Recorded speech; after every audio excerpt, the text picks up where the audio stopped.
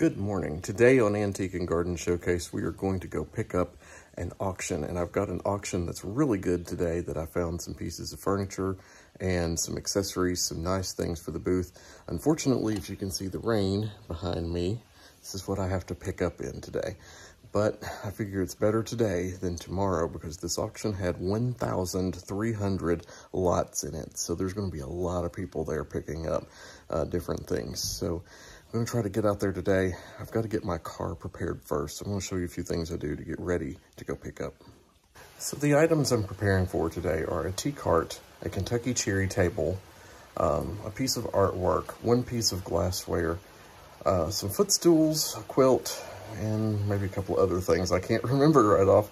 But as you can see, my car is full of boxes. I don't need boxes today. I don't need a lot of crates. I'm going to take one crate because I have one piece of glassware.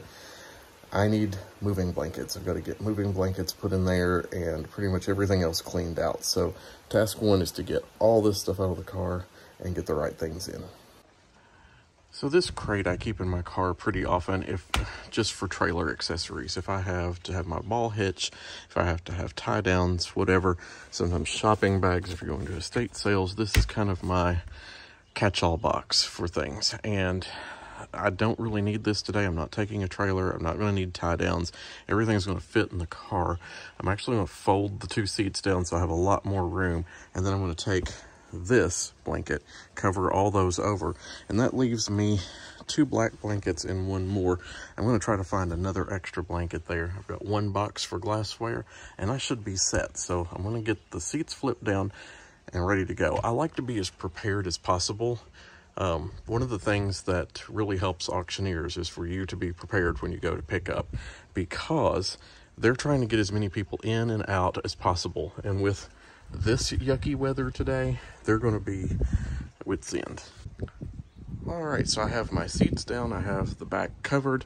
I'm going to load in the extra blankets and the other uh, crate back in. And this is ready to haul furniture. And, you know, I don't have to do anything when I get there. This I can actually pull out and cover over the bumper if I need to. If I have to kind of roll something in, it protects. But an SUV is wonderful for pickup like this. This is a Toyota Highlander. It's got a little bit of age on it. But uh, I found it to be very useful when I go doing the things that I do because it gives me almost the room of like a van on the inside and lots of room for uh, furniture and whatever else. In fact, the two bookcases I have in the Antique and Garden Showcase booth, I fit both of those in there stacked on top of each other in this car at the same time. So lots and lots of room. And uh, yeah, we're going to get ready to head over that way. Okay, well, I have never been in more of a stressful situation than that in my life, but we made it. And we got quite a few things in the car, which I'll show you when I get home.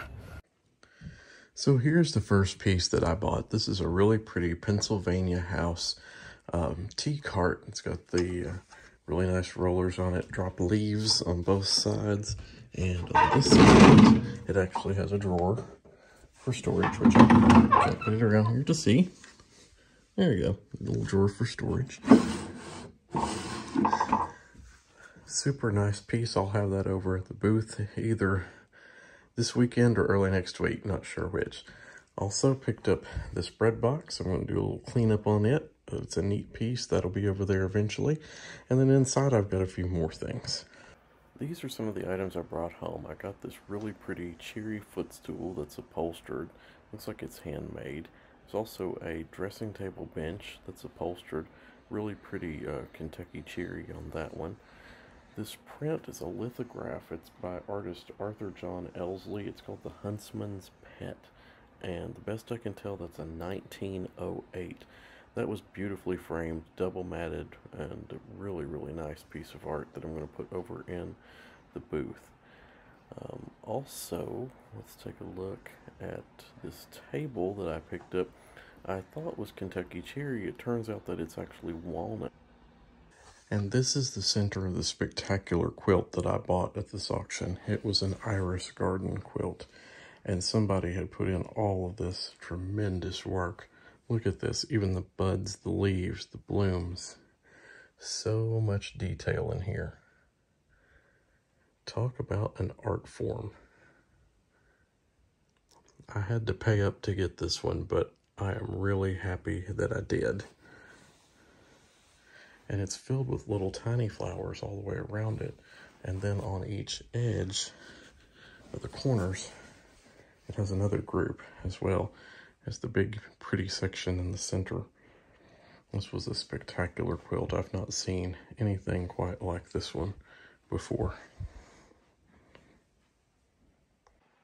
Other finds today were this USA crock with a lid. Also this little teapot that I found with a little lid. It doesn't have a maker's mark, but it kind of looks like Hull. Some more really pretty uh, paperweights, enormous size piece there. Uh, Jeannette vase, a Vitrock vase. I bought this for myself. This is a, uh, it's like a casserole stand or a chinoiserie bowl type stand. There's a little green vase here. This stand came with something else, and then these two little vases are going over tomorrow as well. I also got some more of the uh, Moonstone um, iridescent bowls. These are uh, by Federal. I had some mugs earlier like those. But those are a few things that are going back uh, tomorrow. Thank you for watching Antique and Garden Showcase, and I look forward to seeing you back in the next video. If you haven't subscribed yet, we'd love to have you as a subscriber. Thank you for watching, and have a great week. Bye.